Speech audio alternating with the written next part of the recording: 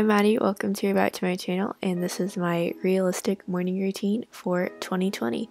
I start off my mornings by waking up at 7 a.m. if it is a normal school day, which today is. And first things first, I go wash my face. This is future Maddie, don't worry, I don't wake up like that. Then I grab my Apple Watch and change into my outfit. Then I immediately go eat breakfast with the fam. This morning I had eggs and waffles. After breakfast, I head on over to my bathroom and start my actual morning routine.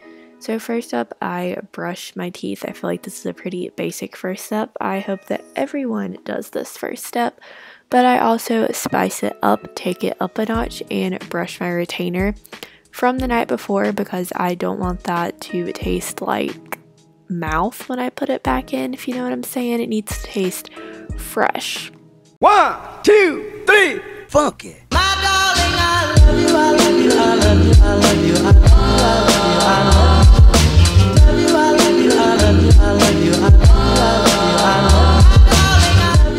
After I'm finished brushing my teeth for the appropriate amount of time, I start my hair care routine.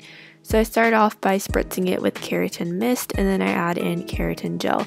Then I gently brush through my hair bottom to top to help prevent any tangles. Then I part my hair the way I always do, which would be over the right hand side.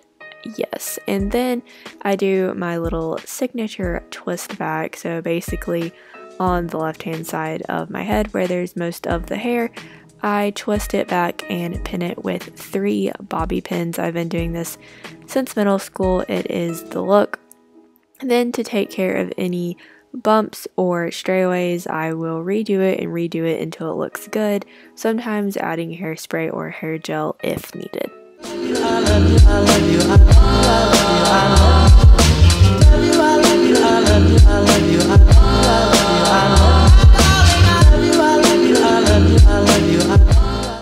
Once I am satisfied with how the hair looks, I will put on deodorant because, you know, don't want to be stinky throughout the day. I hope everyone does that step as well.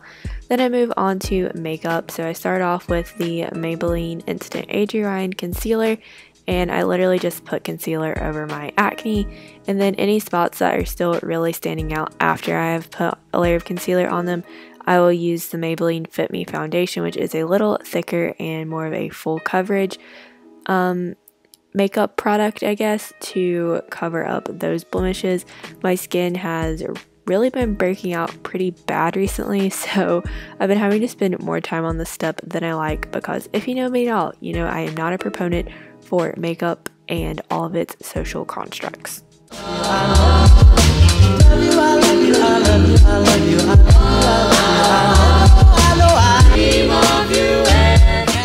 After I'm done covering up my acne, I will spritz with the Mario Badescu spray to set it in place, and then I'll also spritz with Thank You Next by Ariana Grande so that way I can smell super good all day long.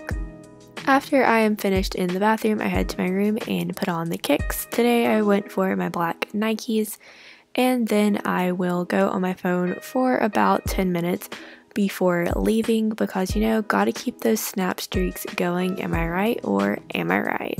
Good morning. So I know that that was a super abrupt ending to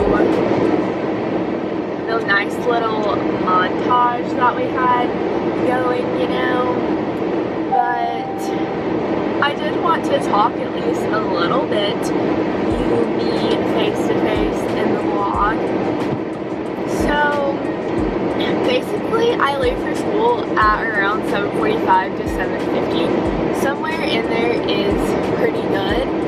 And generally I wake up around 7 because it doesn't take me that long to get ready. I have a very simple morning routine as you saw. And I know I had already done a school morning routine video this year, but that was my like relaxed one before all of my classes had started.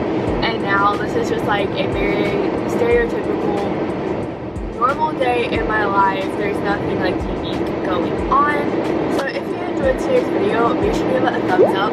Comment down below what time have to wake up from school and be sure to subscribe and have the bell turned on so you can be part of the hashtag M&M squad and I'll see you in my next video. Bye!